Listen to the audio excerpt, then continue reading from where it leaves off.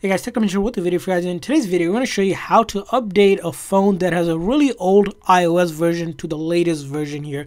So if your iOS is a couple version behind, if you go into your settings and then you go to general software update, you'll see that there's an update available, but you cannot download it and install it through the Wi-Fi here. As you'll see here, it will give you a message like to download or install the software, connect your iPhone to iTunes on your computer. So this phone is the iPhone 8 Plus that we recently got. And if we go into our About page, this is running on iOS 11. Now we need to update it to the latest version that the iPhone 8 Plus supports, which is iOS 16, but we have to do it through iTunes or Finder on a newer MacBook. So I'll show you how that is done here. So first thing is whenever you're having this um, update process, if you have a newer MacBook, they they don't require iTunes anymore. But if you have like a PC or older MacBook, you need to go ahead and download and install the iTunes application. Which if you go into your browser, just Google search iTunes, you'll see here iTunes it will be the very first one from Apple's website. You can go ahead and download it based on whatever version, if you have a Windows or from the Microsoft Store. Like I said, if you have a newer MacBook, they don't require iTunes and you can't even download iTunes because the Finder app itself will allow you to do the same thing that the iTunes app, which follows the same exact process. So it's already built in. So in order to update your phone, all you do is first, of course, connect your charger and then the plug charger cable to either the USB C or if you have the other USB, just plug it into your computer and then you want to trust your computer here. And now what, what we'll do is on a newer MacBook or if you installed iTunes, open up iTunes and you're going to see there's a update button, which I'll show you with using the Find. Once you open up Finder, right? Once you open up Finder, you'll see your iPhone here, or if you have iTunes, it will show up as your iPhone screen. And then you want to trust with your computer. And once you do that, trust issue, it'll load up. It will say either set up as a new device or restore from your phone. So here I'm going to set up as new device and hit continue. And once I do that, you get to a menu, and this is the same menu you'll see on iTunes here it will give you the option to update here. As you can see here, there's a button to update. So all I do is click on update. And once I do that, it's going to say that the phone will be updated to all the latest version, which is here is iOS 16.5. We'll click on that update. And then it will say, uh, do you want to agree to this terms and condition, which I'm going to hit next. And this is just the terms and condition and agree. And as you can see here, the update is happening. Here it's about 6 gig and my Wi-Fi is a little bit slow on my computer home network so I'm gonna have to wait it's saying 37 minutes but maybe less than that but in the second part after the update is complete basically it should install the update which I'm gonna have to wait stop the video and when that update happens I will show you guys how that is being updated from iPhone 11 iOS iPhone 8 Plus on iOS 11 to iOS 16, which is almost like five different versions ahead. Now, this hopefully doesn't break my phone, but we'll see what happens with this update. Alrighty, guys, so it's been a little bit over some time. Uh, it took some time to download. As you can see here, once it's downloaded, it will start preparing the software, which stage right now we're in. So it took, I think, over like 40 minutes or something, but I just left it and left and then came back and saw that the 6 gig was downloaded since iOS 16.5 is quite the big size file. So expect your phone when you're connected like this, it will turn off and do spinny stuff. But so it's going to be preparing it. As you can see, it's connected here. So I'm assuming this is good so far. And the whole time you want to make sure you're connected if you can. Even if you get disconnected, uh, reconnect again. Uh, well, the phone, as you can see here, it's preparing for the update. So we'll just wait and see what happens here. So if you notice here on the phone now, uh, the Apple logo and then this loading bars happening. Again, I'm not really sure how long from iOS 6, 11 to 16, how long it takes, but we're going to see how long this process does take. But when it comes to these big software upgrades, it does take a little bit time, which, you know, you do have to keep that in mind. It doesn't just happen right away because these packages uh, take some time to update and there's a lot of software. So you can see here it's updating again, which is good here. It's saying it loading on that screen and here I don't think they match up but that means the process is good so far which is good. We'll just keep our fingers crossed and can hope that it goes through.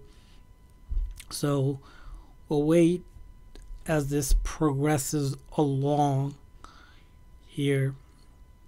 And I believe if you can do this method for any phone that's compatible with the latest version for example if this phone was even older iOS version you can get it to something even newer version as long as it's compatible. And that's the other thing you want to check out that the phone is actually compatible you can google that. So just type in your model number of or the phone that you have like the iphone let's say you have iphone uh, 10 or something you just want to put in latest ios uh, version compatible it will give you the latest version you can update to.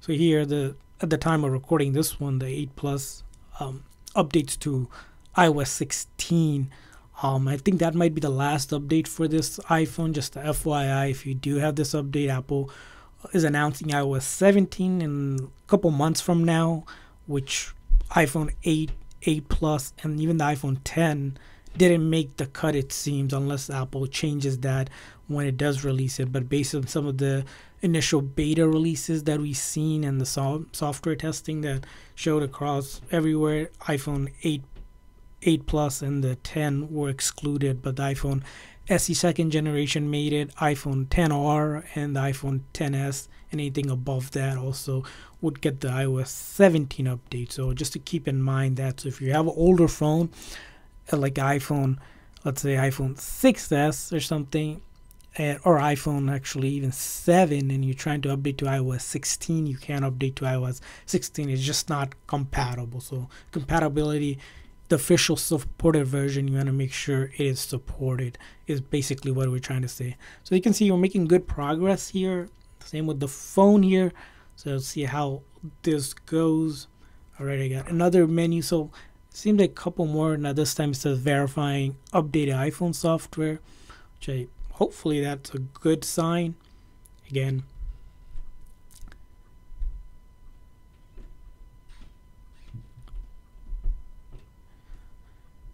the other thing I did want to mention is that if you guys are doing any sort of major software update like this, if you haven't, um, make sure you back up your device if you ever do that, which usually iTunes or your computer should back it up for you once you connect it to um, on your computer, which is important to do just in case you need to recover your data again and the phone doesn't work or something.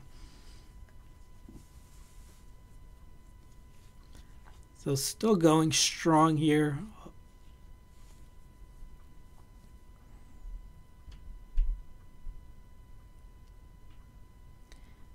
Again, I just want to show the whole process here, the time it takes. I'm not trying to edit any of the part besides the initial download, which again took over probably 40 minutes or something. That doesn't make sense, but I had to stop the video for that. But this part, I just want to show this, you know, in real time how long it takes. So all of this you're seeing right now is none of this edited. So if you wanted to move further ahead or go back and forth between it, you can just to see how long it takes.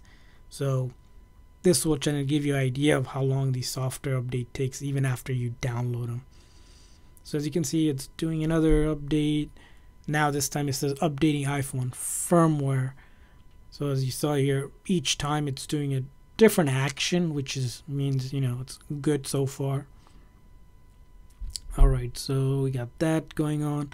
Another thing I noticed, just want to share with you, um, is that if your phone is maxed out on storage, you might not be able to update it. So if that's the case, for example, the iPhone 8 Plus here, it's only a 64 gig phone, and if you're already maxed out at your local storage, like you're you're almost using 60 gig, you're trying to update it to a latest version which requires more space, you won't be able to do the update. So I recommend is trying to delete stuff if you can beforehand, like your photos, videos. Usually videos take up a lot of space, especially larger video files. Any apps that you don't need, you can delete usually that will help to clear up some space but you want to make sure that you give enough or you have enough space to do these upgrades which is a big problem i see a lot of times when uh, people try to go and update their phone is that they don't have enough storage Alrighty, so it's still updating. The firmware here keeps on loading, which is again a good sign as long as these things are moving forward. I don't think there should be anything to worry about, but we'll see as it progresses along. And the other way you can always see your storage available. I don't know if you have noticed here on the top here, it tells you this it says out of 60 gig, but this is 64 gig phone so even right off the bat it doesn't have the full available storage and then how much available you have. So here i recommend for like ios 16 update you need at least 10 gigs or so. It's a six over just a little over six gig update but you know doesn't hurt to have a little bit extra. So if you have like 10 gigs or so available off your iphone. So if you have the bigger version like the 256 gig which iphone 8 plus also comes in that version uh, like that version um, that's probably better. But if you have the lower version like I have here the 64 gig, um, you do have to clear up some space.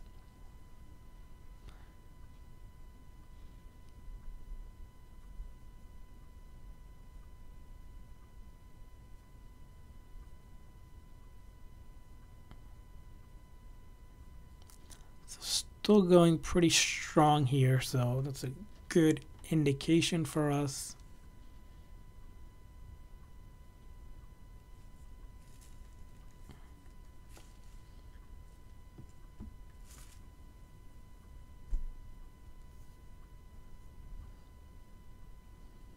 And if you guys are doing an upgrade from a really older version to a newer version, like for example, this from 11 to 16, I also want to hear from you guys in the comment section. If you put it in a comment so other people can see what version you have and what version you're jumping to, which is usually, to me, I find it really fascinating just to see how much you can jump. So I saw some people, you know, when they upgraded from iOS 10 to maybe iOS 14 or 15 on their phone um, it's kind of neat to see that when you go from really old version iOS to new one.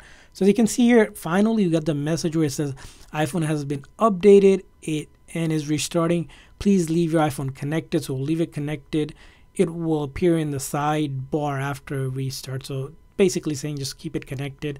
Well, it is restarting. So once it restarts, hoping I'll get to the main screen and then I'll hit OK and then hit that done button. You can probably hit OK now too, but let's see what happens when the restart happens here. So Apple logo, so all right, so it's doing another loading here again going on, so it's still good. Seems like it's really slow here, but we'll see. Sometimes initially starts really slow. Sometimes I see it goes like slow and all of a sudden it just finished. So let's give it a little bit time to restart. And this probably restart is like when it reloads the code and everything one more time just to make sure everything is working correctly.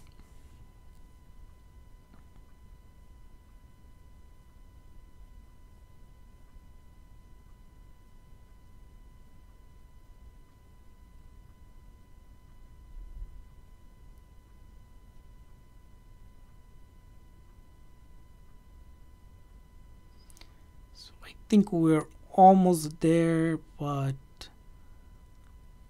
we'll see how long this takes. And again, the reason why we're doing all of this in real time is just to show how the upgrade itself goes about. Sometimes I've seen when people update the phone or some videos, they skip a lot of the part and you think it should be quick, but it does take some time. So, of being a little bit patient helps with this process.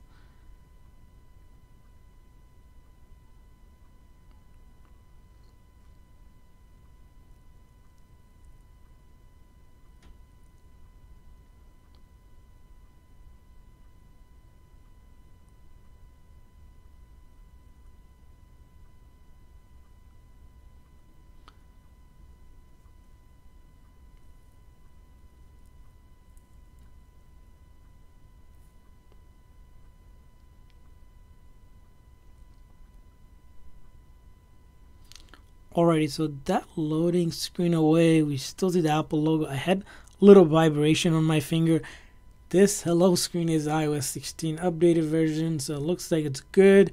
So software, I can probably just hit trust. continue here. I'm just gonna hit touch ID. You can set that up and then set it up. But we'll see passcode.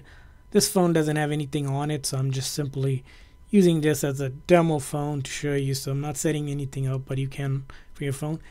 And we see the wallpaper here, system not available, but as you can see here, it's been updated and I can go to settings, a general update, and I see iOS 16.5 as you can see here just to prove that from 11 to 16.5 it's possible to upgrade it and as you just saw I'll take it off the computer here and I'm good to go here as you can see the app library and all of the updated version on iOS 16.5 so there you go the update hopefully you guys found this video helpful uh, like I said in real time without any edited part how long this took just to show you also share with us how long it took you what version you went to what version and if you have any question, leave a comment in the comment section. I'll try to get back to you. Thanks for watching, guys. See you guys next time.